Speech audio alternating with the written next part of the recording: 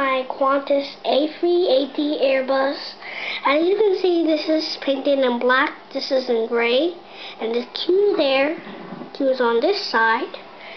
And as you can see here, that there is the kangaroo logo, and the flight number of this is called VHOQA, that's right there and you can see that there are five on these on each side. And if you join them all in together they make 10 and let's move on to here. Now this says up here is very small and it says QA and let's turn that over. And it says on this side AQ and it has the kangaroo there. That part is white, and that's in red. Let's move on here. Here, as you can see, it's not painted. That's because the smoke is coming out during the flight. Let's move on to the belly. Now, you can see that there is a lot of landing gears. You can see the back of the engine as well.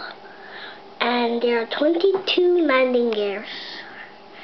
And here it says Herpa, that the company. And again, it says here, VHOQA, only bigger. Decide, you know the, this Qantas A380, that wing part, it goes up. It's supposed to go up and it has two on each side.